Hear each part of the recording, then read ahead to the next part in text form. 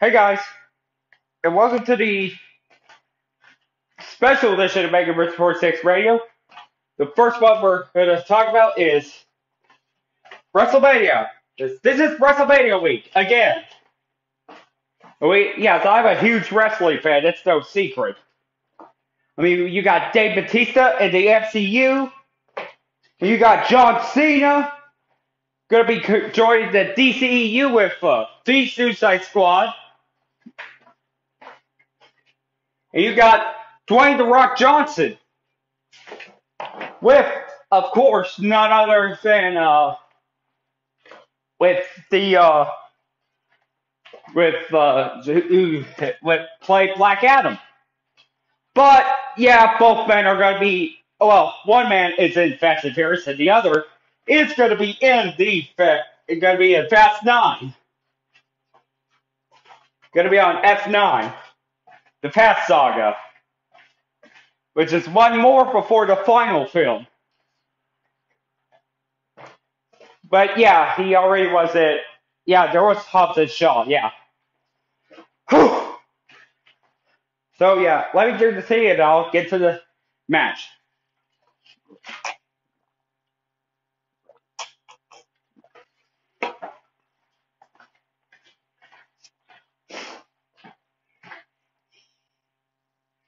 Number 10.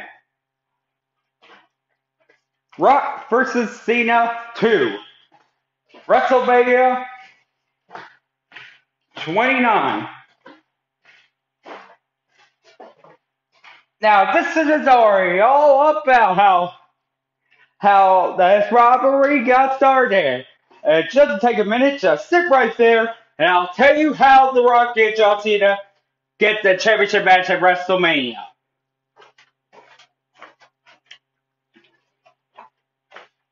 Okay. Okay, well, uh, it's time for the Fresh Prince of Bel Air reference. We're gonna talk about. Long story short, back in the 2011, we heard uh, The Rock talking smack to John Cena. But they asked him to Marine, and then he mentioned he wasn't due, which is a pretty bad movie. And the Marine too, yeah. Uh, not the one with Ted DiBiase, but the but the first one with John Cena. Six, Randy Orton was discharged, was dishonorably dis, discharged from the military after going AWOL. But yeah, that's not how it started. It started with Rock after his seven-year absence of WWE, making an official appearance to WrestleMania.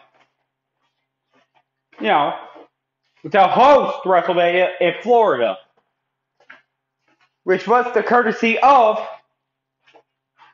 the match. With of course the the with the match, however,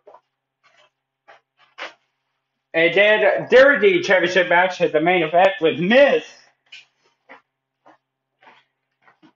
challenging Charles Six, Alberto Del Rio was the one who won the Royal Rumble, but yet at the same time he lost the match against the Rated R Superstar, just like weeks who like you know just weeks before retirement.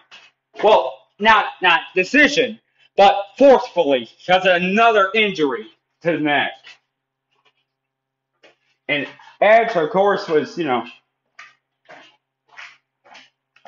we're gonna get to in a bit, but with uh, John uh, with John Cena, of course. See, he had the and at uh, Extreme Rules in the Extreme Rules match, well, well, in a well, still cage match against Miz and John Morrison. The Miz lost the title to John Cena, and of course, and of course, we're not going to get to the further details of like the death of Osama bin Laden.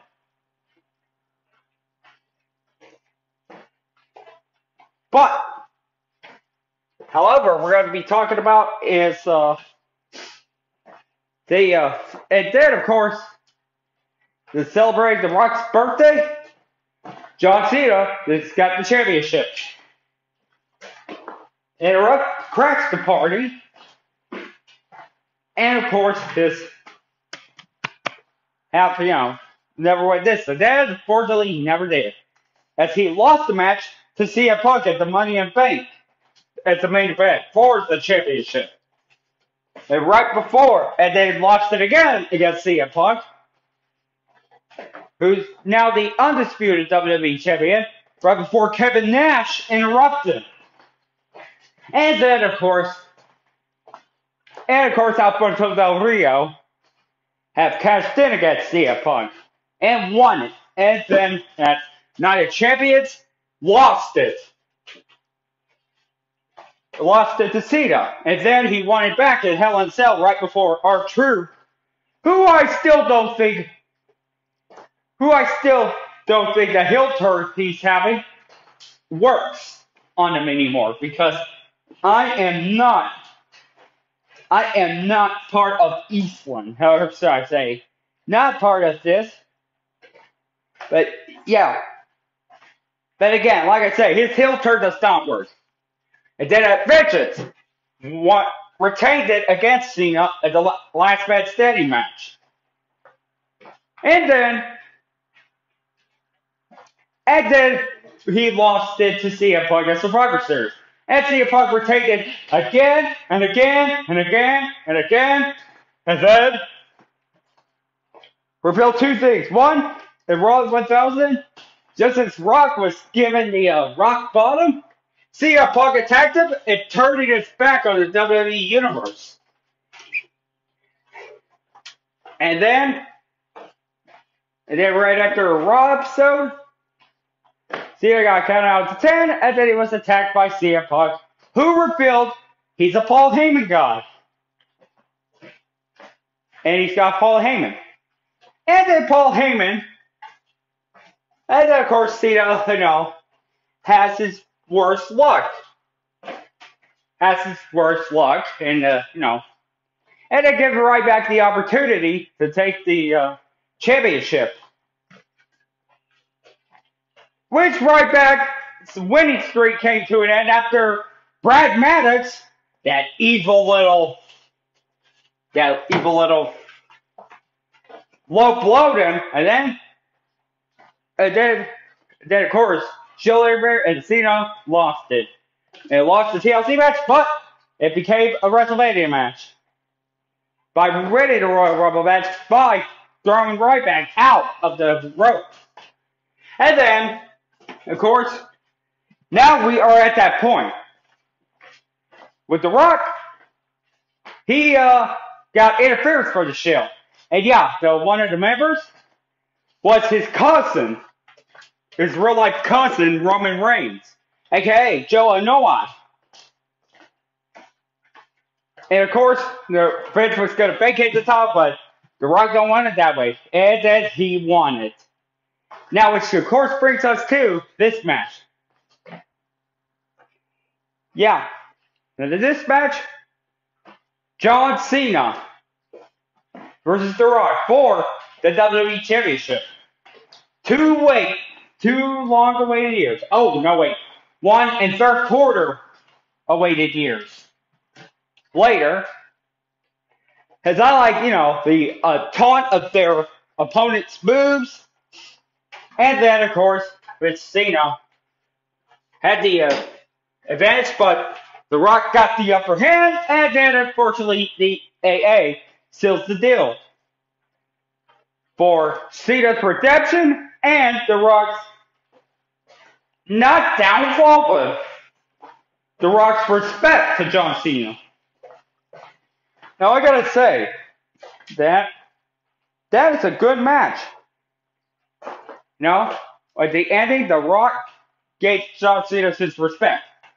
And not number nine. Now we are, of course, going to talk about WrestleMania with 28 from 2012. No, we're going to get to the main event in the very, very soon. And of course, was that, um, yeah, and I was biased. Yeah, and I've been biased for that for years. I still haven't gotten over it, but it deserved to be in a spot. Daniel Bryan with AJ Lee versus Sheamus for the World Heavyweight Championship. Now, to make a long story short, let's see. The ECW uh, Championship was was uh, Chavo Guerrero versus Kane in a world record breaking championship with, like, of course, in a matter of eight seconds. But Kane just out of nowhere gave up the choke slam, then one, two, three. But but since that title's uh, no more, since ECW, the brand is no more, we got to this. The Rock. Oh, sorry. Dale Bryan. He he was fired at 2010. He was fired at 2010.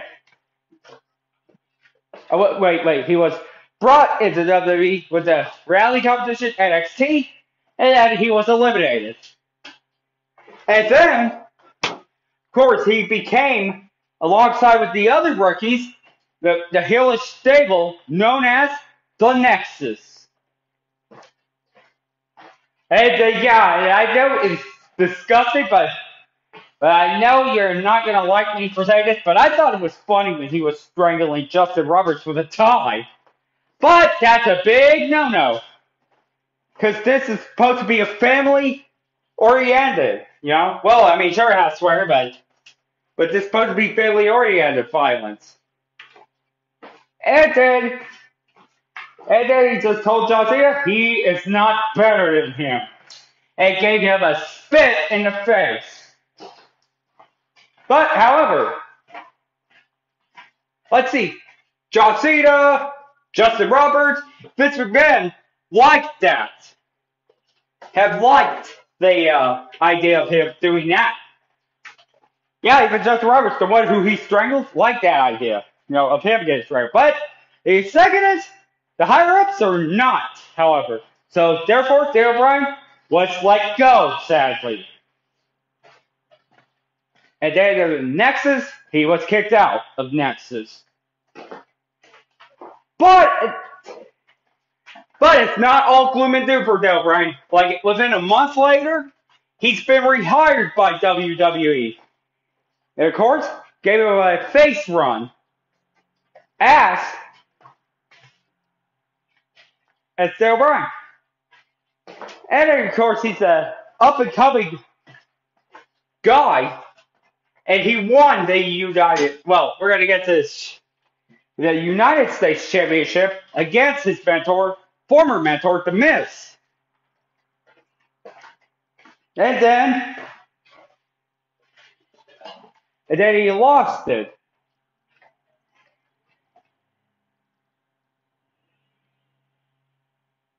But, however,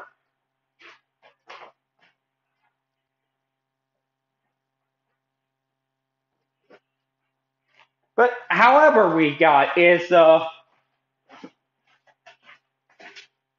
we're gonna get to NASCAR shortly. Well, well, I mean, I'm gonna get to it in a bit, but whatever happened, it did. He won the Money in the Bank match for SmackDown with the blue briefcase. Well, Del Rio for Raw gets the red one to represent their brand. And then, and then of course, Dale Bryan has got the uh, match. Of course, you know, try to cash in against Mark Henry. Then Mark Henry's been injured. But of course, he was given back the briefcase.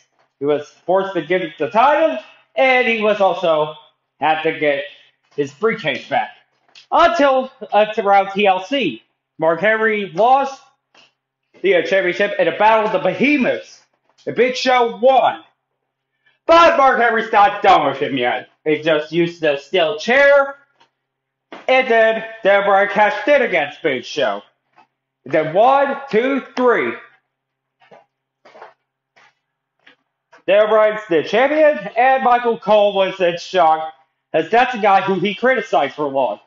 Who we're gonna get to in the next uh, Daniel Bryan, you know, match. And of course, Sheamus had entered had entered the match, and then of course survived and becoming the last one to win after eliminating Chris Jericho. And then he gets a spot at WrestleMania. So therefore he's he's gonna have to pick. So therefore he's not ready. So or in that case, he's um he gets pardon from doing the elimination chamber match. And after Dale Bryan had survived against six man inside the elimination chamber by defeating Santino Marella via submission. The guy who was who lost, who was eliminated first, well, in one second, and then he was eliminated lastly by Del Rio, thinking he won the WrestleMania. But, and of course, then at WrestleMania, I still haven't gotten over that match. Daniel Bryan have have lost the match in 18 seconds, which is a new record for for the championship reign. But but Daniel Bryan held it for days since the TLC match. After retaining at the Royal Rumble, the Steel Cage match, and inside the Elimination Chamber, but it was all flushed out the toilet after a kiss from AJ Lee. For good luck, and then of course he was eliminated. Well, of course he was pinned. One, two, three. But yeah, not my favorite, but it's gotta go into the countdown. Number number eight. The uh, well, it's hard to choose from which Undertaker match I just witnessed, but it's got to be like three Undertaker matches, of course. So we're gonna start off with the uh, the one, uh, not the um, end of the era because I'm gonna say that other one with the Metallica. Let's see. He has six conversations total, but this one is number five. So he uh, gets Shawn. So he's getting uh, Shawn Michaels three times, and then all the way to 25th WrestleMania. He did it. And then Shawn Michaels put his career on the line, but we're going to get to that in a bit. And then, of course, Triple H was won in a match against The Undertaker to, to break the streak right before Brock Lesnar does. But it's well, okay, let's start with 2011. The uh, Undertaker, who's uh, who's aging, and of course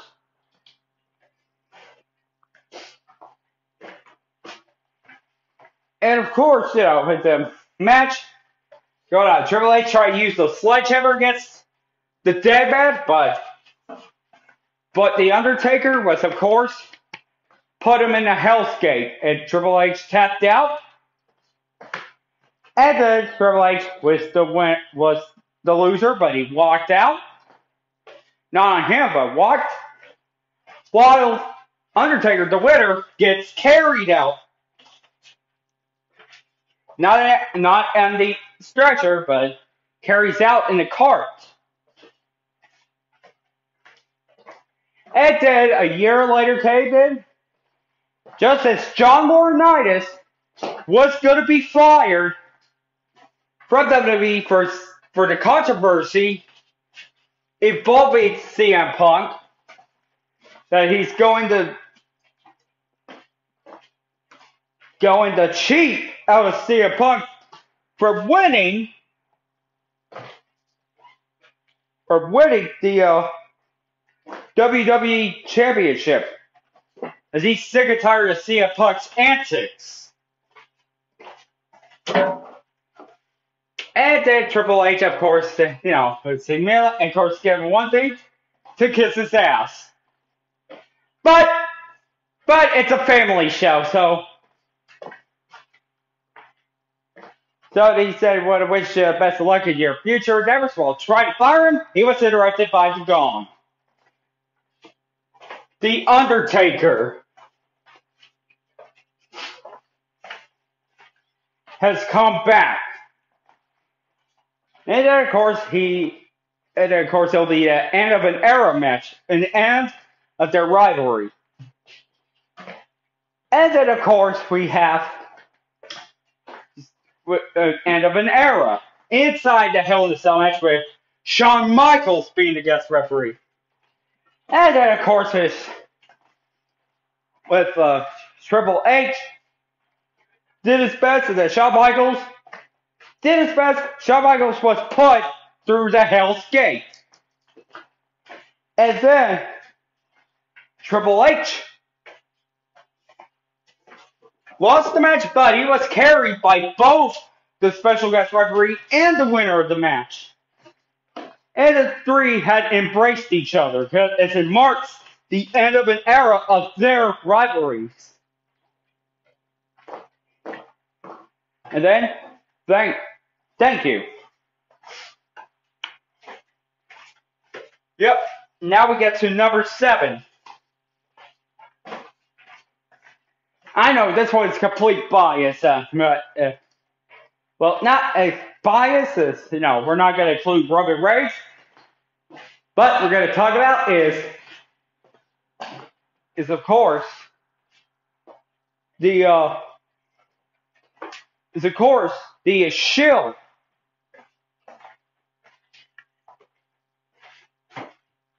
Is of course you know. Oh, or should I say it was of course it would be uh, you know. Well, well, I can't think of you know because they didn't have their wedding streak broken, but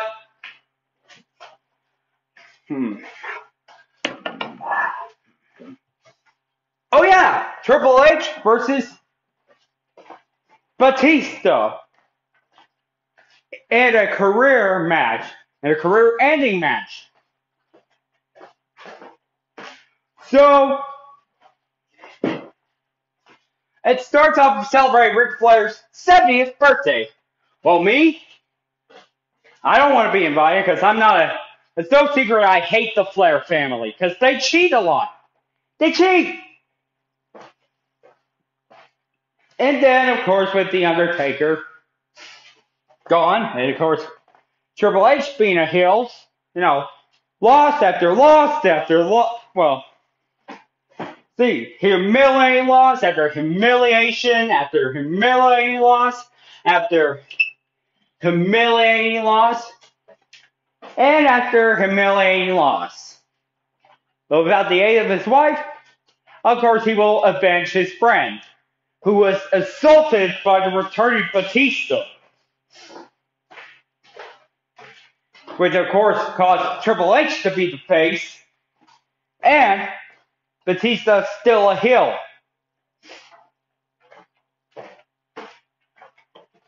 And of course, this demands a match against him at WrestleMania. And of course, Triple H don't want to, but until they give me what I want, he accepts, and then of course would put the stakes.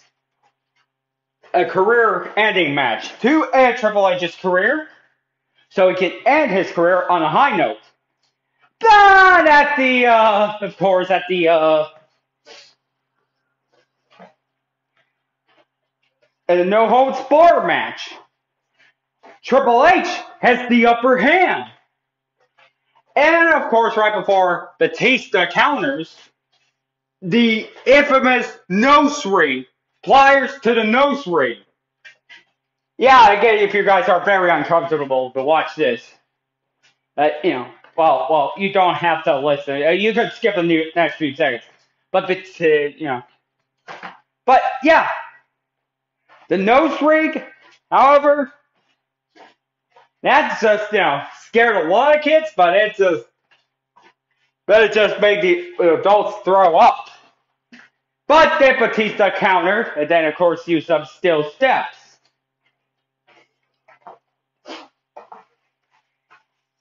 And then of course that's not the first time Triple H was in a career-ending match, which resulted in a victory.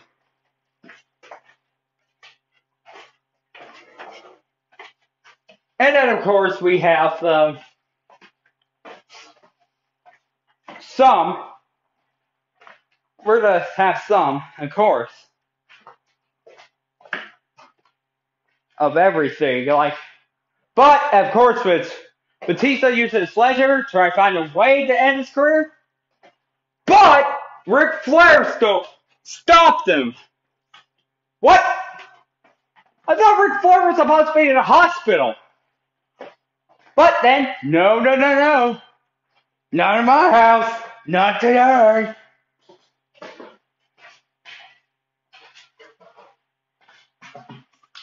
No, no, no, no. Mm-mm-mm. But that, but then Triple H, of course, give a pedigree to Steel Steps, and, he saved his career. And he had saved his career. One, two, three, and his career continues. Well, looks like Triple H will not end his career anytime soon, unless he says, unless he says his career, you know, decides if the career is over. But that was a heartfelt, but hey, at least he deserved it.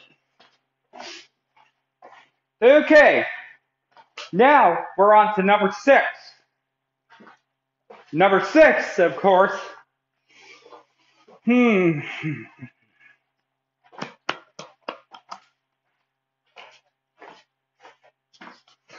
Number six. Number six. Number six.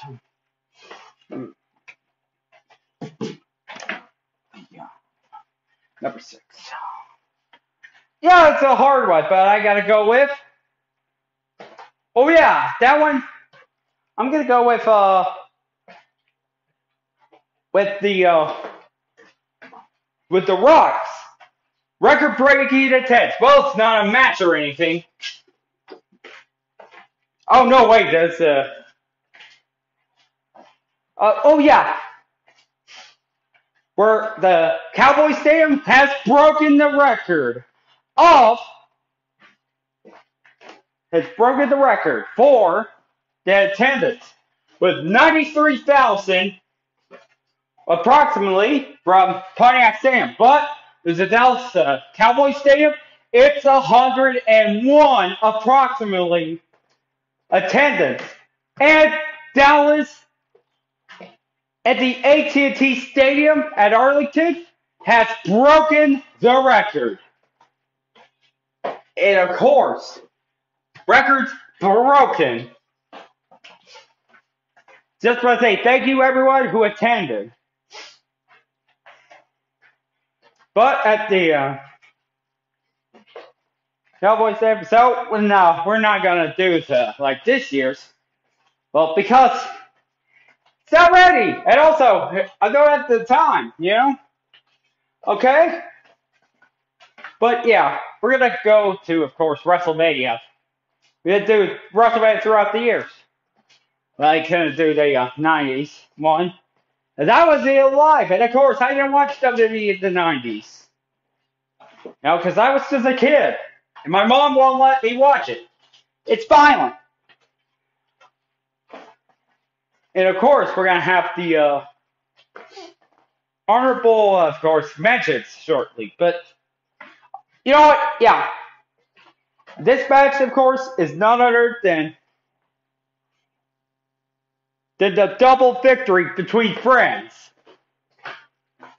Let's see. Long story short, right before their uh, tragedies, one ended up in the WWE Hall of Fame, and the other ended the legacy he created. I mean, ended his own legacy he created. Sadly. And, yeah. Let's see. Back in around the, the 2003 year, Eddie Guerrero was at the bottom of the ground. Well, not not dead or anything, but you know, of course, with Eddie Guerrero, he just wanted to win a match against. He just wanted to win a match against Eddie. Sorry, uh, Kurt Angle, and he didn't. But until No Way Out, with the uh, boot, however, he won the match and won the WWE Championship. Yep. Yep. And while Michael Cole shouted, Eddie won. And Taz, however, is biased and said Eddie cheated. But come on. Come on. I mean, sure they sure they cheat, but hey, at least they're honest about it. I'm more offended of the Guerreros rather than the uh, Flairs. Because they are the true dynasty. You know, with with uh, with Rachel, you know, the the daughter to Eddie Guerrero, the one who's married to Aiden English.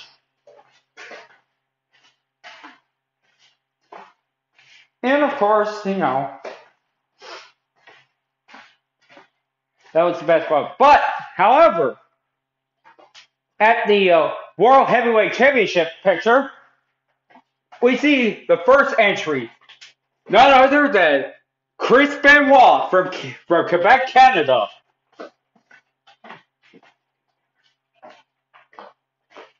Or Calgary, Alberta, Canada. You know, coming up there, and of course he survived against 29 other men. Like literally, he's in the number one spot and he finished first. And he gets a spot at WrestleMania, which of course is Shawn Michaels and Eddie Guerrero. Sorry, and Triple H, who were going head to head against the World Heavyweight Championship.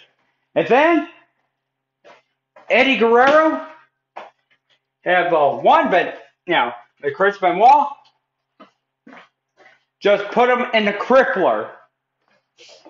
So actually, you know, that fighting and then Benoit was down, and then of course, and of course the both men, of course, got one guy receiving a headbutt,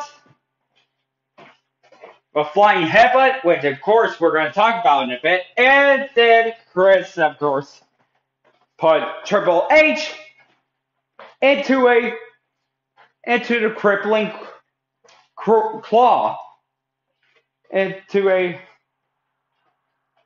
or towards the Wolverine. He's the Wolverine crippler. Put him in the crippler crawl, which is like the LeBell lock, and then later the yes lock. And then he began to tap. Triple H tapped out, and then Eddie Guerrero and Chris Benoit have won, had their WrestleMania moment with the confetti. They celebrated with his wife Nancy and their son Daniel. And of course, yeah, we're gonna we're gonna get to this in a little bit. The, the aftermath. And then of course with with Chris Benoit. Of course, was you know both of originated from ECW and WCW respectfully. Then Eddie joined WWE first, and then and then Chris later on. As then both were beginning to embrace each other and celebrate together, as those two are pretty good friends. A Latino and a Canadian. Hmm, wonder why it's so familiar. Nah. But now, well, this is the worst part I want, have to do, but I gotta do it anyway. The aftermath of of the uh, match. After the match, like Eddie Guerrero was on the top until until later on in the pay per view, he lost to JBL. And then at SummerSlam, it was no picnic for either one. What I meant by year one, I mean there was no picnic for Chris Benoit, and he was uh, pinned. No, one at SummerSlam, one, two, three. He lost the World Heavyweight Championship to Randy Orton, and of course he he admired Orton's performance. But it wasn't all gloom and doom for for the two men. Next year, Eddie Guerrero won the World Heavyweight Championship.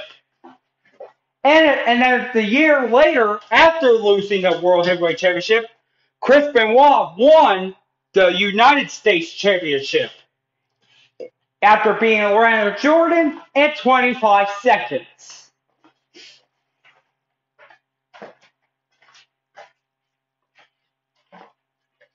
And that's the same time he made the coffee. Yep, and that's the same time that Chris, in a funny montage, yes, that's guy. That's gonna be added the best WrestleMania, but not WrestleMania moment. That's a SummerSlam moment. Of course, we get to is the 25 seconds of coffee, and he's like, "I win again." But unfortunately, it was wasn't gloom and doom but then unfortunately became gloom well, in 2005, with, where Eddie Guerrero was found unconscious by by his nephew Chavo Guerrero Jr., who's three years older than Eddie. So, well, not who was three years younger than Eddie. And Eddie was found like a foam in his mouth hotel, then the paramedics arrived, but he was already dead on arrival. But he was dead on arrival, sadly. And which broke the fans, not just WWE fans, but also his fellow colleagues, like John Cena, Rey Mysterio, who had a feud with uh, Eddie, like, or, you know, for custody with Dominic. I forgot to mention that. Who's now part of the WWE. And I'm glad to have Dominic aboard.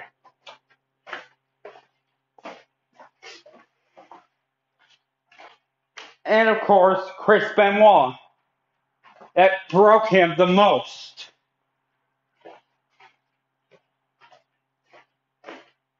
That even though it was gloom, and now we're now we're at this path where it's two men.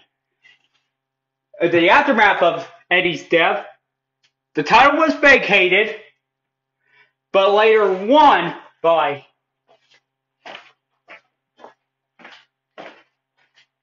but was later won by uh no well later by Triple H then Batista won the Royal Rumble match. And then turned face will give it a thumbs down and he wants this wants the World Heavyweight Championship. And of course, that was the biggest moment ever. And, but, however, Eddie was also inducted to the WWE Hall of Fame. In 2006, posthumously by Chris Benoit, Chavo Guerrero, and Rey Mysterio. And of course, on his behalf is his wife, Vickie Guerrero, and his two daughters accepting the honor. And now, where things get worse for Chris, he lost the uh, United States Championship, and then, of course, of course, if you watch the Dark Side of the Ring, uh, it's on there, by the way. Parts one and two about Chris Benoit. Like, uh, you know, his triumph on part one, and then later became his tragedy. Yeah, yeah, there's an episode on him. And of course, sadly, with uh, around 2007, he was like, you know, of course, part of. And then he later was drafted to, of course, to ECW. He was drafted to ECW, so which is now a brand created by Vince McMahon and Paul Heyman, the mastermind of ECW. And it, of course, was supposed to be the demise of Vince. Well, I, like within a week later, we see Vince McMahon looking around, making sure there's nothing suspicious in the in the limousine, and then the limo exploded. Of course, Vince McMahon was dead. Which were and then he was challenged challenging Bobby Lashley to to for the ECW championship. Oh boy, this is the moment we've all been waiting entirely for or so long because Chris Benoit was nowhere to be found. Even Chavo haven't heard back from him since their last conversation. You haven't heard back from Chris.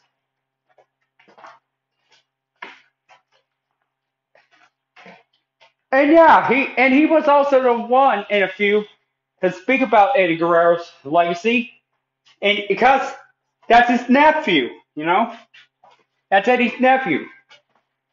But then tragedy had struck on around Monday with the uh, suspicions that Chris Benoit, his wife Nancy, and their son Daniel were found dead. Were found dead, like uh, like uh, what's been going on, and then of course, of course, uh, Chris Benoit was found hanging around.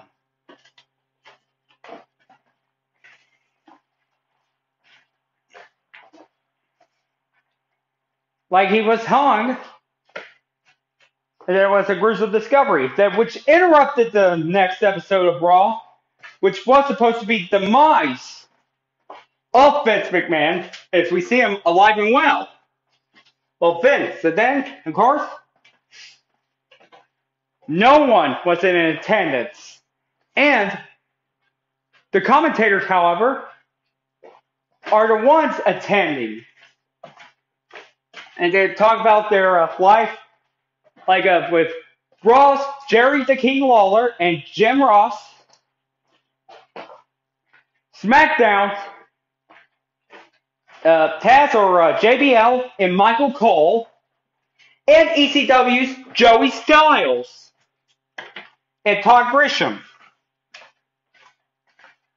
Talking about uh, Chris Benoit's uh, success and legacy. And then later on ECW, 24 hours later, the investigators said it was a double murder suicide, and then, thus, Chris Benoit's name and history, and of course, merchandise and being featured in video game and uh, everything successful about him were erased from WWE entirely. And with that, there will be no mention of there was no mention of him whatsoever after that.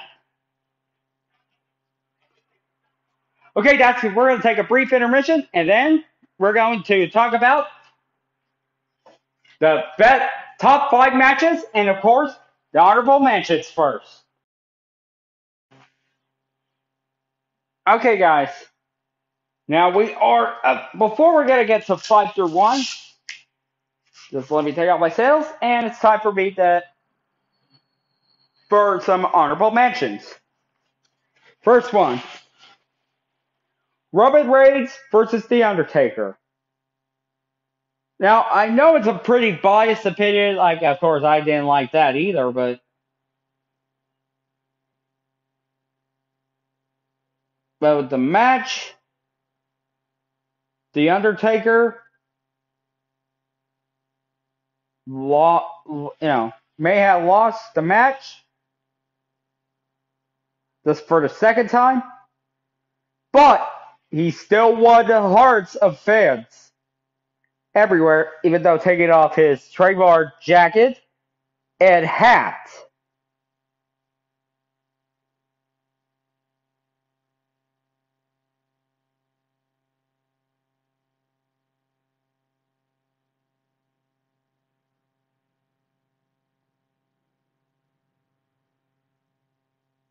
And of course, this was a tragedy But the next one, of course, is The Undertaker versus John Cena at WrestleMania in 2018. We know that John Cena has called out, had called out The Undertaker. Then we saw Elias playing House of the Rising Sun in New Orleans.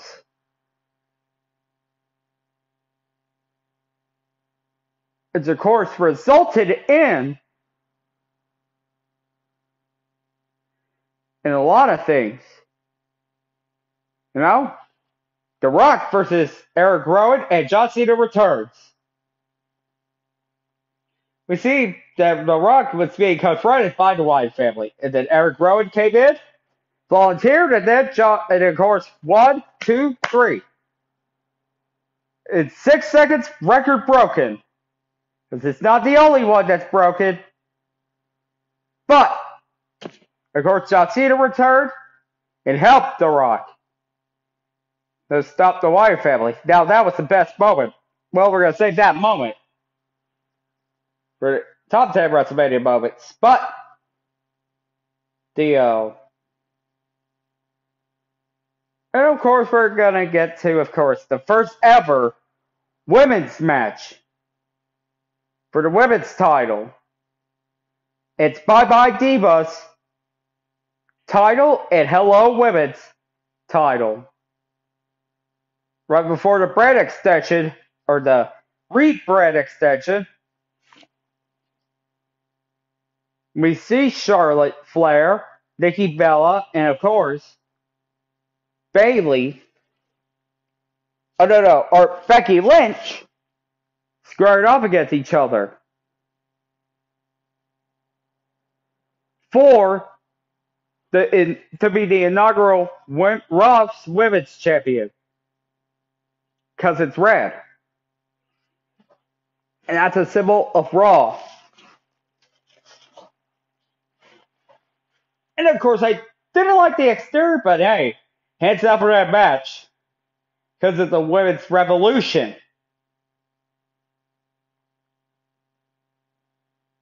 And it's uh you know it's not for a political agenda or anything, but but but it did ha- but they did have their own pay per view because they were not allowed to go to Saudi Arabia. They were not allowed to go to Saudi Arabia to be entertained. Right before Saudi Arabia became very controversial. You know, because the la- last time that wrestling got co- controversial well, we already knew that North Korea is the one.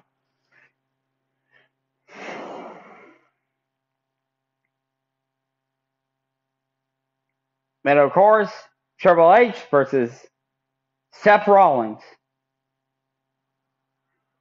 It was a he was a prospect for the authority, and then then years later, in 2016, he was betrayed He was betrayed by Seth Rollins. Oh no. Oh no, wait. Triple H betrayed Seth Rollins. And then, of course, uh, Rollins, of course, betrayed him, you know?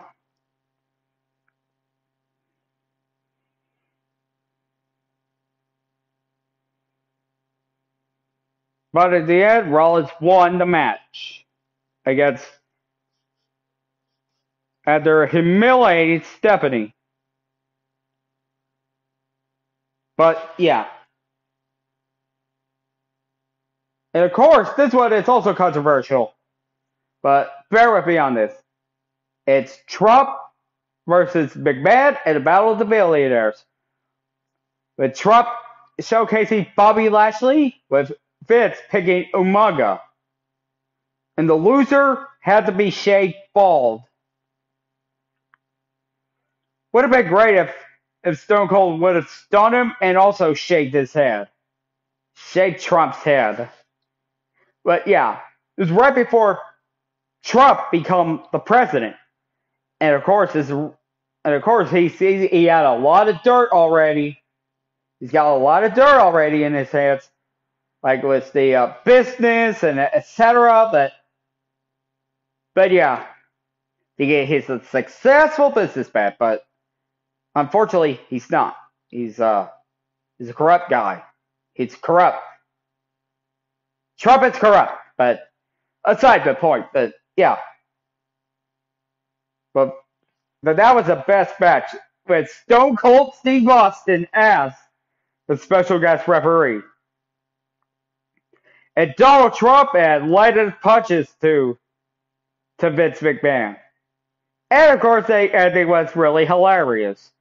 Not just hilarious because of Vince McMahon getting his head shaven, but Donald Trump also gets the Stone Cold Stunner treatment.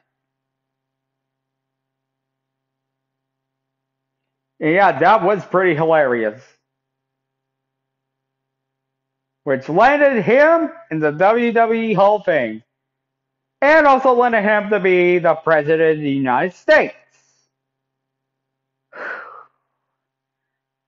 But, yeah, I have a pretty, I have a pretty, I have standards about him being president, however but I'm not for a woke reasons, but for my own reasons. So we're not gonna get into that. But however, we're gonna get into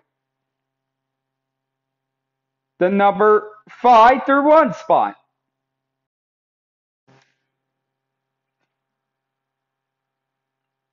Now we're back.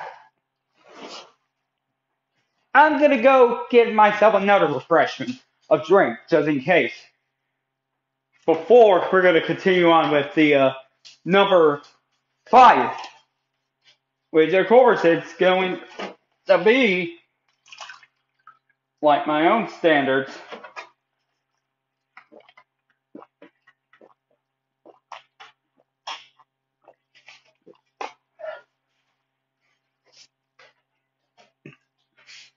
Number five, John Cena versus versus The Rock. One at WrestleMania 28. A once in a lifetime match. See, it was uh, a current superstar versus leg- WWE legend. It was the soon to be the actor versus the current actor the guy who who's becoming a hero versus the one who is of course thinks he's the hero. Well, you get the you get the gist of it, but however, we see John Cena with Machine Gun Kelly singing his song for his entrance, and then for John Cena's life story. And then comes John Cena's cue of his theme song, You Can't See Me. And then we see Flo Rida singing the theme song for WrestleMania. Then singing Wild Ones, which is the life story of Dwayne The Rock Johnson. And then the famous, Could you smell what The Rock is cooking? Now, this one was the best match, heads down. But it's in a double fight spot, so of course we see that if John Cena, as soon as he get try to do the you can't see me. But the rock counters with the rock bottom and then one, two, three. Ding ding ding ding. The Rock won the match. Which of course lets to Cena's downfall and next year redemption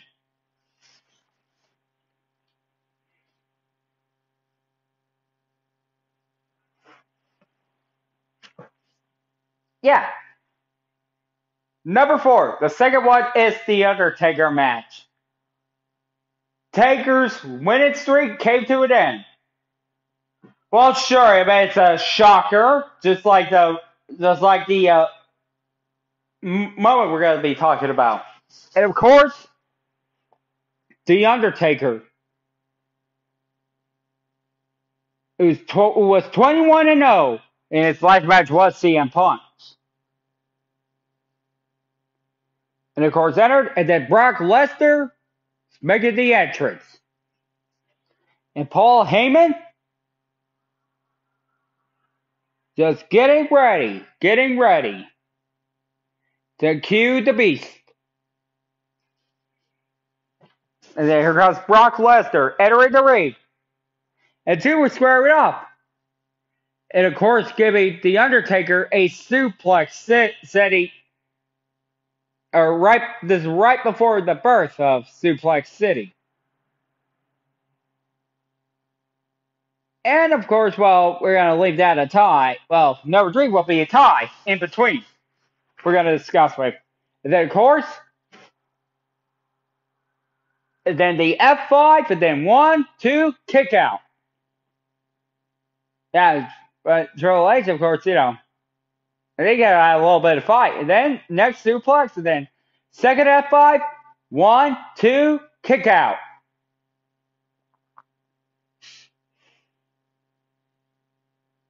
And of course, the last breath, and then last suplex, and then the last F5.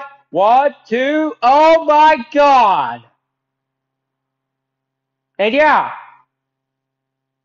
it happened, ladies and gentlemen. The Undertaker winning streak is over. Brock Lesnar ended the streak. And he said, ladies and gentlemen, I hate to say I told you so, but ladies and gentlemen, I told you so. Brock Lesnar ends the winning streak of The Undertakers. And he keep on gloating and gloating and gloating and gloating and gloating and gloating about it. But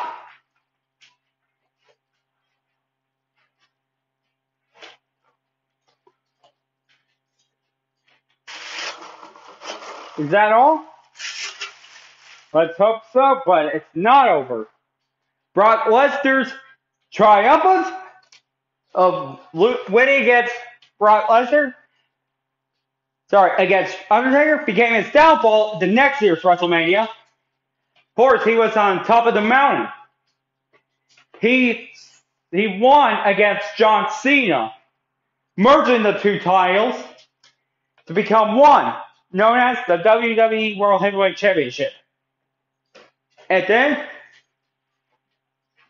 and he uh, conquered John Cena, and of course stopped everyone from winning the championship, including Seth Rollins. Right before the snowstorm in Connecticut, re-aired the both hit both their match and the Royal Rumble, which of course was a pretty uh, low standard, which was going to be. Where of course, we, next time I would get to the worst, worst finishes of the Royal Rumble, the worst Royal Rumble moments. But yeah, Roman Reigns won with the help of The Rock, and everybody was not happy about it. And then, of course, which leads to number three in a three-way tie.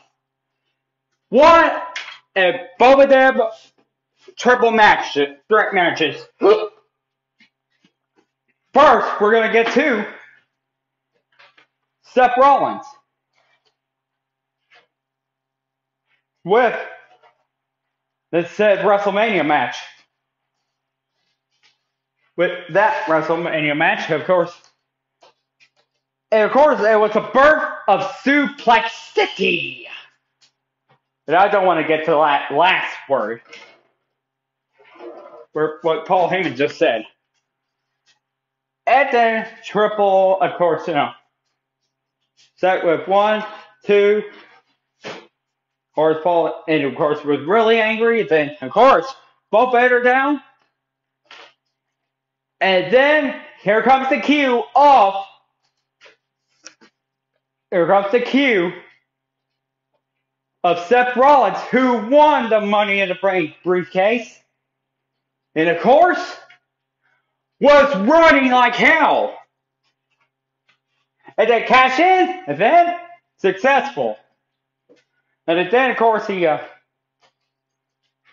curb stomp, or get Roman Reigns out of the way, and then did the curb stomp to Brock Lesnar. Then Brock Lesnar re- recounters, and then accept Rollins, then one, two, kick out, and then one more stomp to Brock the Beast, and that was the best moment.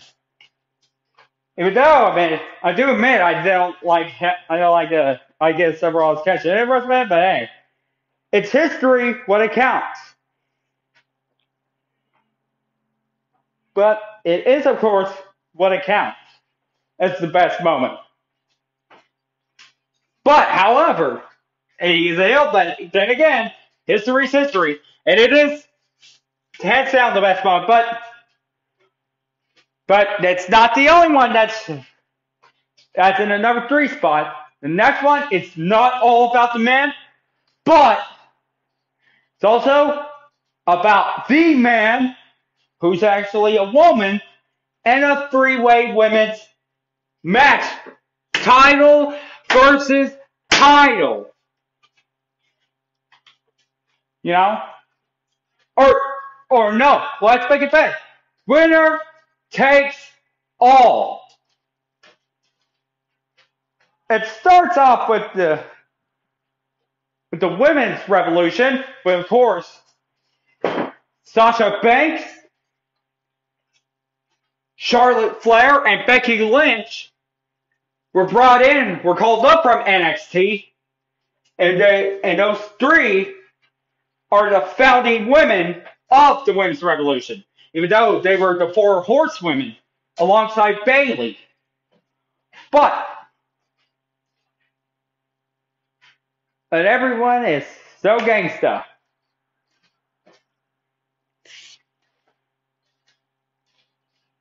Until now let's hope it but however we're gonna begin and of course at the 2018 Royal Rumble with the first ever women's Royal Rumble match, and they get an opportunity for for any women's from the women's title from any brand, Raw or SmackDown. With after both Japanese superstars won, which is of course Asuka and Shinsuke Nakamura, and of course. The two of them lost the match at WrestleMania, but one ended up with a heel turn. It's not Asuka, but it's rather Shinsuke Nakamura with a low blow. After a respect, low blow to AJ Styles. Now that's I call a literal low blow. And that goes all the way to uh, Ronda Rousey. Of course, was having a match against Nia Jax. It did, of course, unfortunately. But unfortunately, she was attacked by Alexa Bliss, who won the Money in the Bank briefcase. And then cast against Nia Jax, and then, then won the championship, and then told her, called her an overhyped rookie, told her to get back in the line, and then Ronda Rousey wasn't having it, and then she became suspended. Good!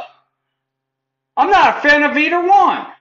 I'm not a fan of Alexa Bliss, nor am I a fan of Ronda Rousey, because me, in my opinion, Ronda Rousey is the most overrated woman on the planet. Of course, cheated in the UFC and cheated in WWE. Uh, sorry, sorry, sorry. I, I, and again, I have standards for Ronda Rousey and it's not very good standards. It's really, really bad standards. It's, it's no secret I really hate Ronda Rousey. As you know, I'm more of a Gina Carano kind of guy. Because now that woman, she's a true pioneer. Or Gina Carano, she's a pioneer of of said WWE. Or sorry, the MMA. And, she, and I would have been I would have, and she would have made an excellent WWE superstar right before she go into acting. But Ronda Rousey, really? And then at SummerSlam, after her suspension was lifted, she she shut out Alexa Bliss and then won, and then um, undeservingly won the women's championship of Raw. And then, of course, an opportunity after opportunity, and then with the champion, and of course with uh, Becky Lynch. But we're going to begin with Becky Lynch shortly. And then, of course, we landed the ropes for her at WrestleMania. And as for Charlotte Flair, she won the uh, championship for, uh, and then of course ended Asuka's streak, and Oscar gave her respect. And to make a long story short, at SummerSlam, she was successfully retained against Becky Lynch, and of course, everyone, including myself, was booing at Charlotte for defeating Becky Lynch. And then Becky Lynch turned heel, but everyone was liking it. And yeah, myself included. It's no secret I hate the Flair fam. I don't like the Flair family. They cheat a lot. Because again, I'm not a fan of Ric Flair or his uh, S word of a daughter. And it has the LU in there. With in between the S and the T. And it has the LU in between. But I usually call her. And now, time for Becky Lynch. Well, we know she got, she got a lot of opportunities. And then, of course, she won the SmackDown Women's Championship against Alexa Bliss. Oh, no, wait. She became the inaugural winner of the SmackDown, the inaugural champion of SmackDown. And then lost it to uh, Carmella, who was the Money in the Bank winner. And then Carmella came in. And of course, she uh, was upset. And then, of course, know, and then Alexa Bliss, that little minx, had taken that away right before she lost it to Naomi at WrestleMania. And then Alexa Bliss lost it again against Nia Jax at WrestleMania, for, but for the Raw one. And then, of course,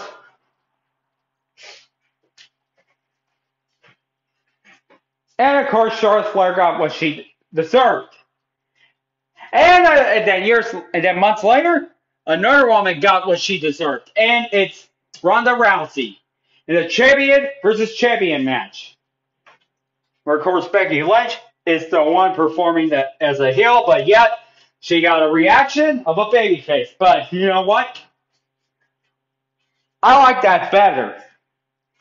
It, that I was told her told her to get. I told Becky Lynch to get her, get Ronda, and I was of course. You you may say I'm sick in the head, but it's true. Again, I am not a Ronda Rousey fan. I really hate Ronda Rousey, and I don't like Charlotte Flair because I'm I'm a I'm a Becky Lynch guy. Okay. But at the Royal Rumble,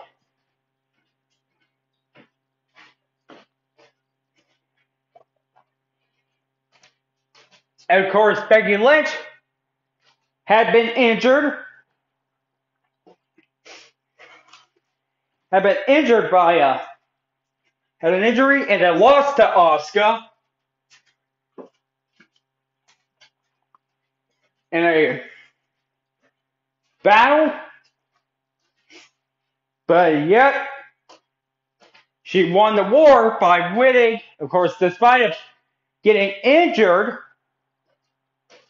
was at uh, the Royal Rumble. And of course, she just wanted to work a tweaked knee. And of course, now that's I call excellent selling. And then, of course, there's Charlotte Flair.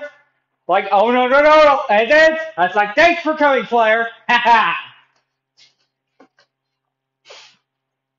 And then Charlotte Flair had unfortunately won the WWE Championship. And then, it, and of course, Ronda Rousey turned heel, and of course, I still don't like her. No matter face or heel, I still hate Ronda Rousey. And if she ever say, even said, no more Mrs. Nice B word.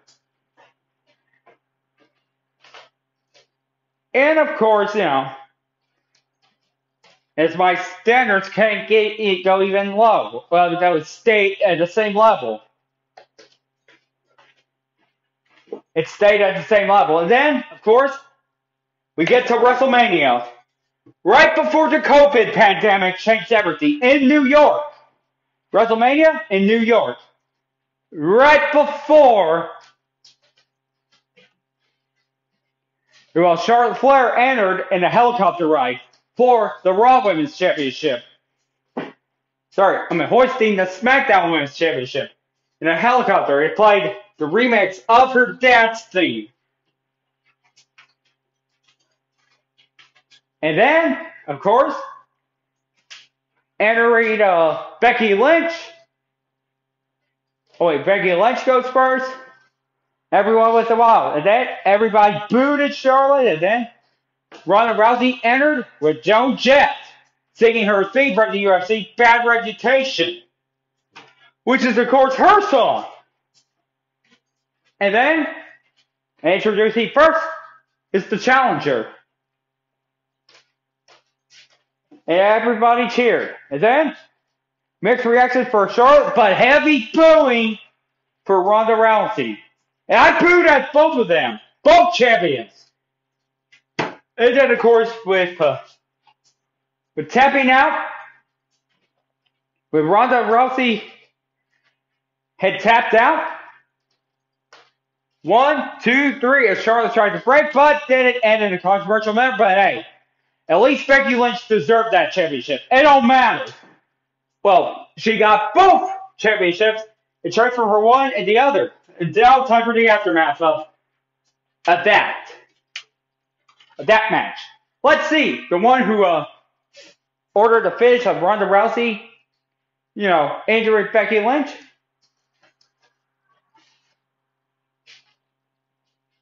Was supposed to end like in a kickout, and then Becky Lynch was supposed to pin. He got fired. And Ronda Rousey announcing after her defeat that she'll no longer be part of WWE. Good. Good. Who needs her anyway? I don't. I really don't. Okay, now we got two more. Two more to go. And here it is, everyone. Number two. He's a legend. He's an Olympic gold medalist. It's true. It's damn true. Kurt Angle versus Baron Corbin. Nah, I'm just kidding. It's a miracle on Bourbon Street, which was the first ever debut, first ever pay-per-view event under under the WWE Network. RIP, the US version. 2014 through 2021. And of course, and of course, it was the interesting part of WWE. If we just want to say happy for, happy for, uh, uh, happy for, yeah, there's the WWE Network giving us WrestleMania. And it was the best moment. Now, to continue on with Daniel Bryan's. What brought him here? After humiliating the feat of uh, Sheamus, it went from bad to worse for him. As he lost the championship opportunity after losing to Sheamus. And then, of course, he was challenging, and of course, the Beat the Clock challenge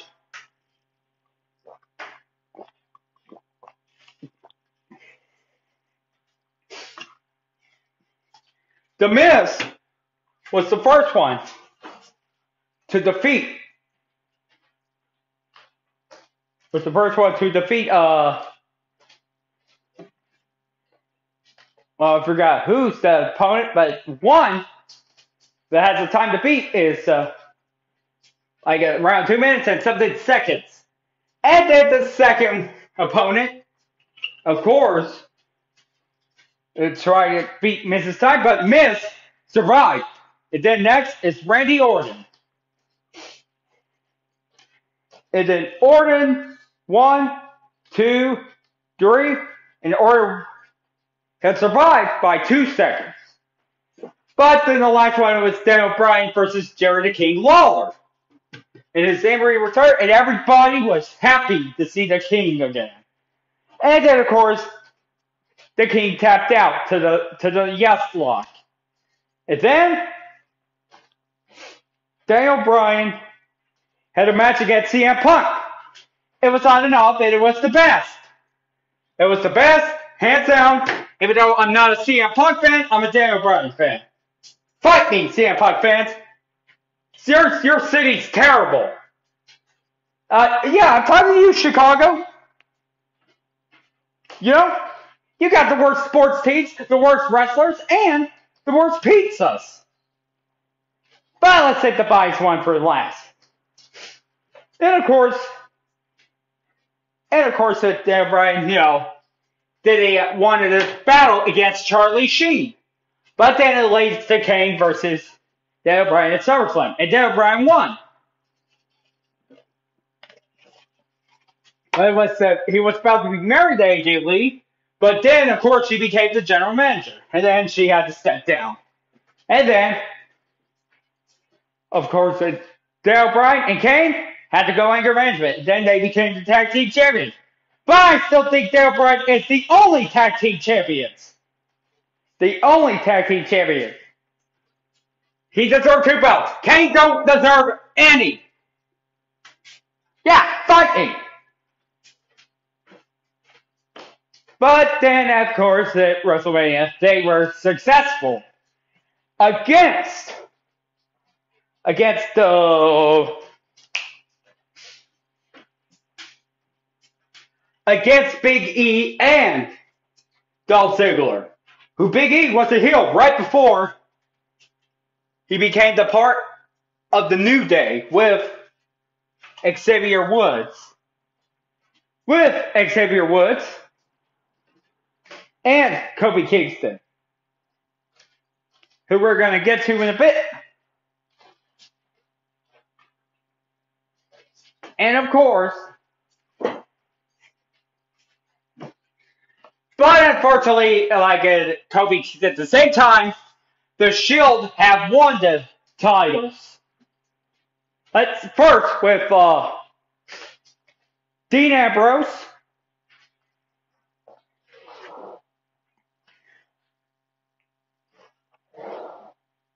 With Dean Ambrose as the champion, and and with uh, oh sorry, with the United States Championship, and Seth Rollins and Roman Reigns winning against Team Hell No with a championship of their own. And of course, the tag team championships. Yeah, right before they lost it. Right before they lost the tag team championship to the Rhodes brothers, Goldust and Cody. Right before he became Stardust. And unfortunately, he that it, yep, that is. For Dean Ambrose, he lost it at the Battle Royale for the championship. And it was started a bit of illusion, but Dave Bryan, of course, at SummerSlam, got a WWE Championship opportunity against John Cena, and he won it.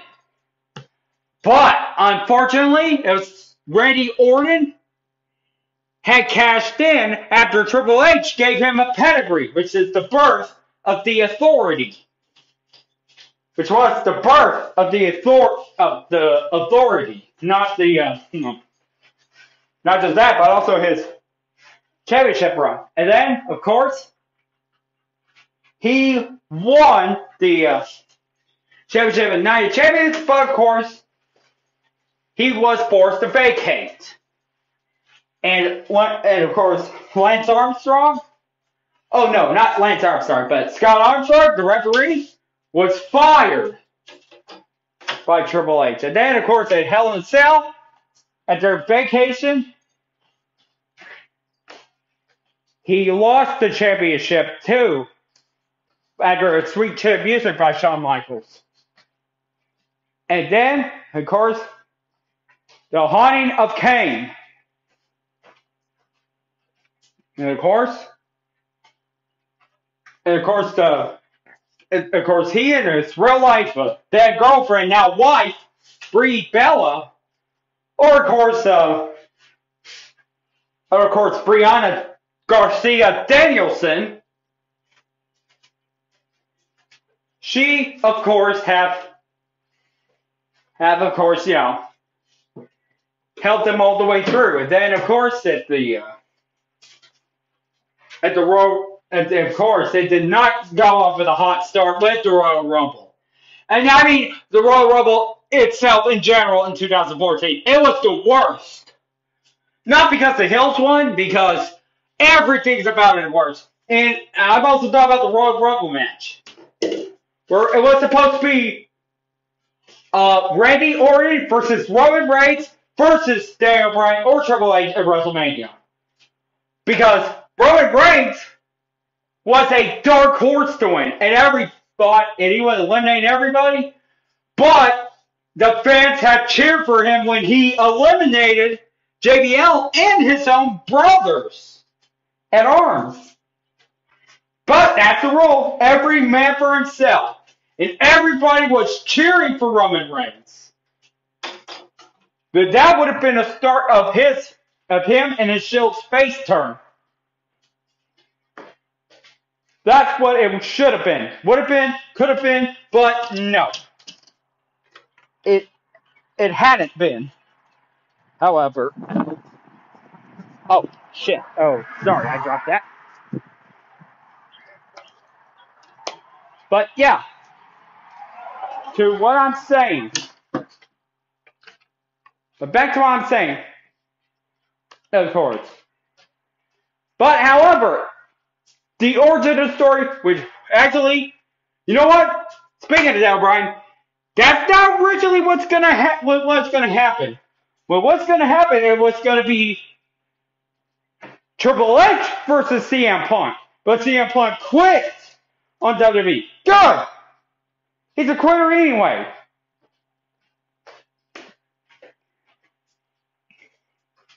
But however, he was very unhappy with the finish.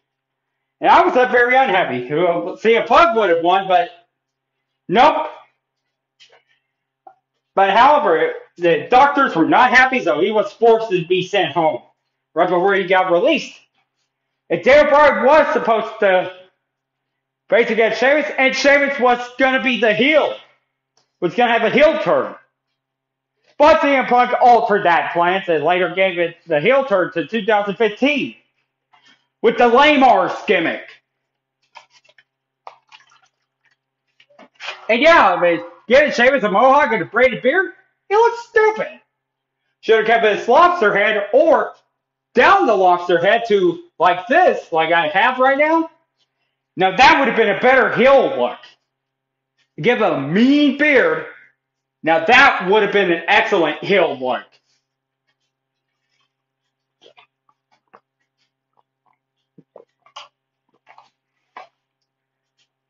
Yeah, but I'm glad Sheamus is back to the way he is.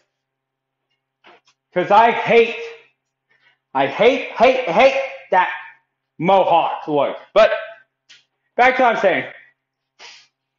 Daniel Bryan was screwed out of the championship hunt again at the uh, event at WWE at the Elimination Chamber, and he was also screwed out of. And then, of course, the best part of rest, the road to WrestleMania was Raw, where every Daniel Bryan fans or actors, of course, were occupying the ring wearing Daniel Bryan yes shirts, the propaganda posters. And you know, I joined in the yes movement. Cause yeah, I've been a Dale Bryan fan ever since he got into WWE. Even if he retires, I'm still not gonna stop watching wrestling. But but yeah, it pissed off Stephanie and Triple H. And of course, with the match, Triple H just accepted his challenge. And then altered the challenge, like the winner will be going against, will go against Batista, who unfortunately eliminated Roman Reigns, and the fans were not happy about it. And of course, that's just the worst. That thing is worse since watching Game of Thrones season 8. No joke, season 8 Game of Thrones is terrible. I talk about that a lot. But, but just like that. Thus, WrestleMania match was born. Daniel Bryan, of course, uh, Triple H was was having fun, humiliating Daniel Bryan. That Daniel Bryan fought back and won. And then after was to be slapped by Stephanie, he just the along until Triple H attacked him from behind. And and injured him more. And decided to injure him more.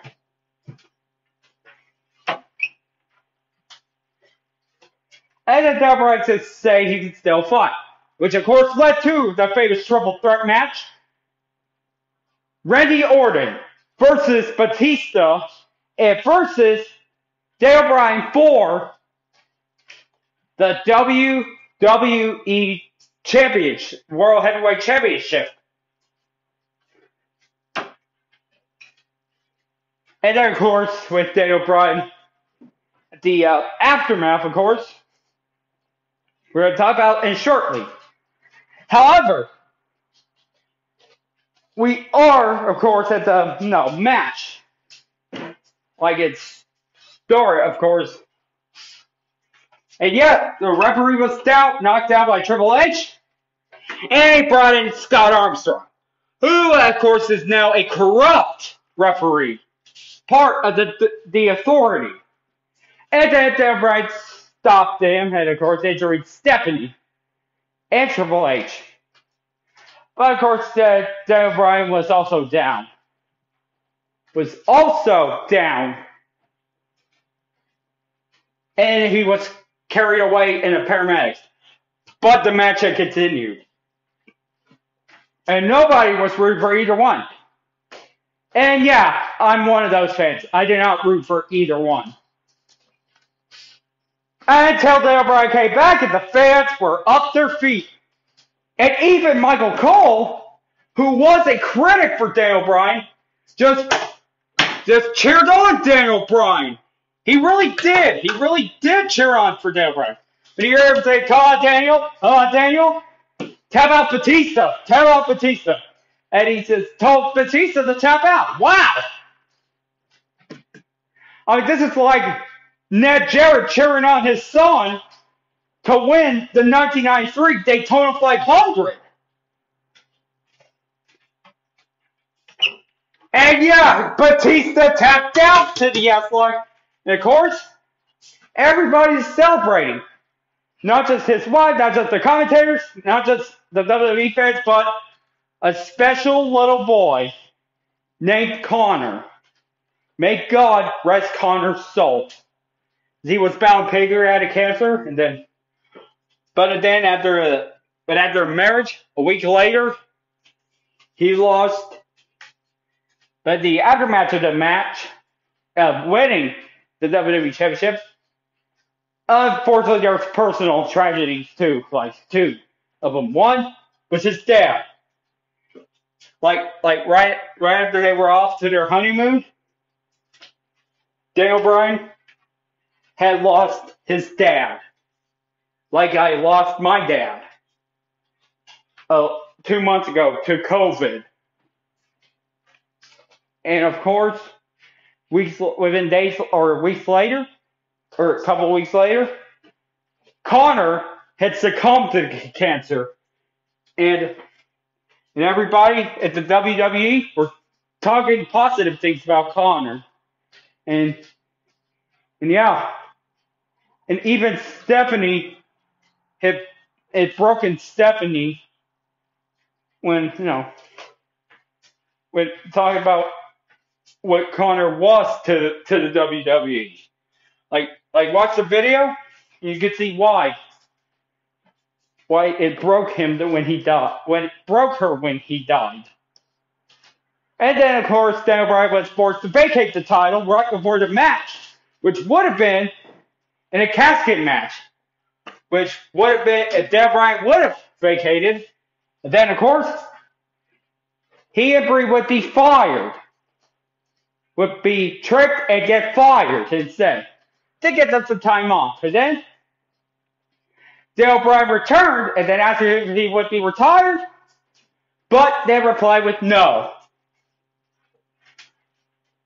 And then weeks later, he of course won a match, the ladder match in WrestleMania against Wade Barrett and the others for the Intercontinental Championship. But then sadly he was forced to vacate it, and then with doing another injury, and then of course held the tournament, which leads with Ryback versus whoever it was, and Ryback won the championship. But then, of course, with with after the Royal Rumble match, an unfortunate announcement that he had retired from WWE.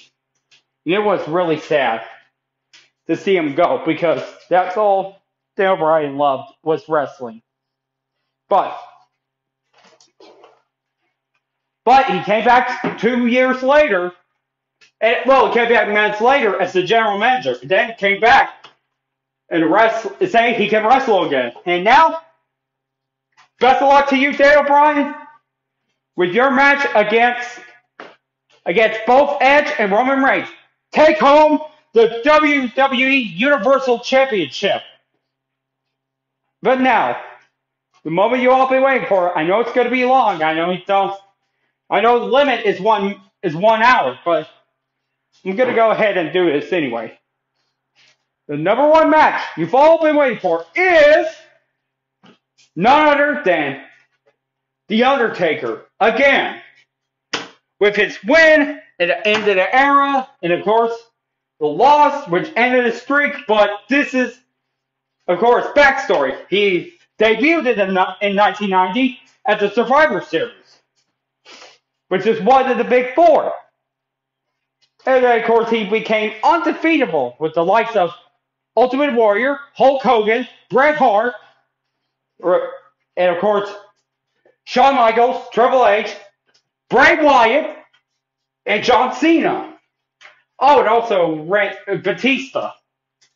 But although he had two losses against Brock Lesnar and Roman Reigns. But this one is a career definer. And of course, he was involved in a buried alive match. In a buried alive match, let's just say he don't have a pretty good record in that type of match. He he fought against three times and he was buried three times. Literally, too. Well, actually, literally buried not figuratively buried.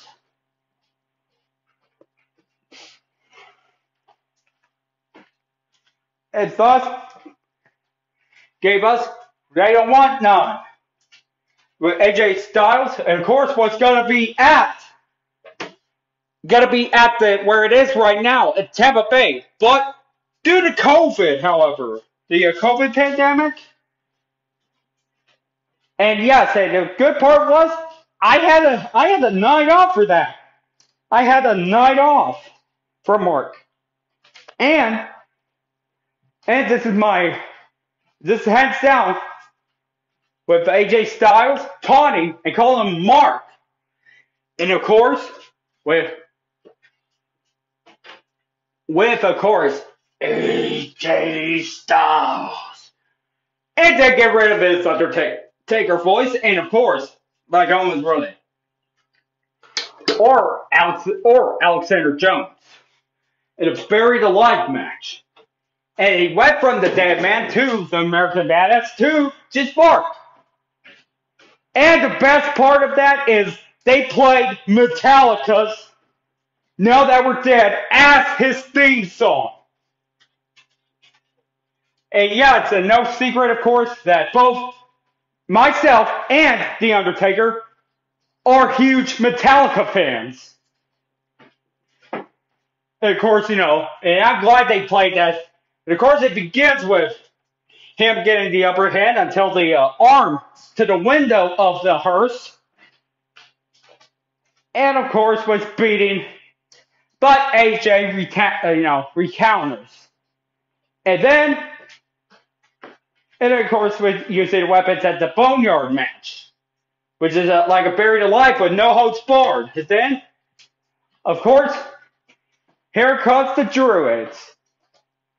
And also, right before their release, Karl Anderson and Luke Gallows. Right before their match. So, yeah. However, but then AJ Styles, of course, uh, it, it was still lining up with AJ Styles. Of course, sent him to the grave, and he was ready to bury him. They say ash to ash, dust to dust. Well, to use the lyrics of The Memory Remains. Damn it, AJ Styles! You're supposed to include Fade to Black! The Memory Remains! Don't you ever listen to Metallica, AJ Styles? You had one job! And then, of course, he was la- uh, laughing about it. And then I was laughing because the Undertaker, or I'm out of nowhere, was behind him and scared him. And then, of course, he sent AJ, he sent Gallows to the no tombstone and sent Ga- Gallows, uh, sent Anderson down to his fall. And of course, get AJ Styles a tombstone pile driver and then sent him down to the face. And then AJ was pleading for his life and said, I'm sorry, I'm sorry. And, that, and Mark says, Oh, you're sorry. And then, of course, he was, he, he uh, admired AJ Styles for being a tough guy and respectful. And then, under, and then, of course, he was really, really happy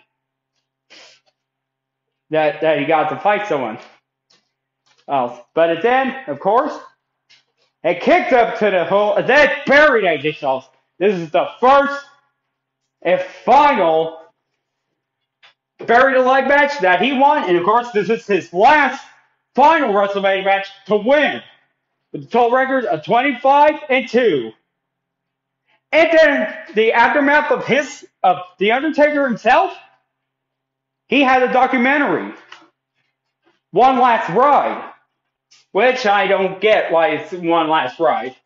And then in part five, I of course literally dropped my phone when after I heard his voice saying, "This time, the cowboy really rides away," and I just dropped my phone, just thinking. But then of course, which translates to the Undertaker, after after 20 or after uh, 30 years, confirmed he is retiring from wrestling. But yeah. But hey, the 30th anniversary of The Undertaker, which marks, of course, Mark's final time to step in the ring. And of course, with superstars of that legacy, including his WrestleMania victims. They were very happy to talk about, you know. And then The Undertaker or Mark Calaway entered as The Undertaker, and he's like, it's time for the dead man to rest in Peace. And then the best part that ended his career was, of course, the hologram of Paul Bearer with the Earth, the late Paul Bearer or William Moody holding the yard saying, Oh, yes! And then he walked out the ramp one last time. Thus ends the career of the Phenom, the Deadman, the American Badass. Mark Calaway, also known as The Undertaker. And that, ladies and gentlemen, that match itself deserved the number one spot for my opinion for the best WrestleMania matches. And this one from last year was the best of all. Okay, guys, that's going to be about it for uh, this. Uh, cause and uh, it's right after the uh, one hour mark, ladies and gentlemen. Or uh, right left, and of course, get ready to tune in to WrestleMania with Peacock if you got the premium. All right, guys, I will see you guys next time on Be Nerdy and all.